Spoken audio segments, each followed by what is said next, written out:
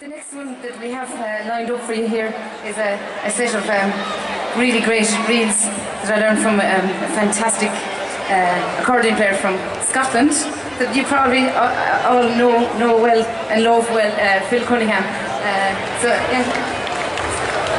so we'll do this for all the Scottish music lovers out there.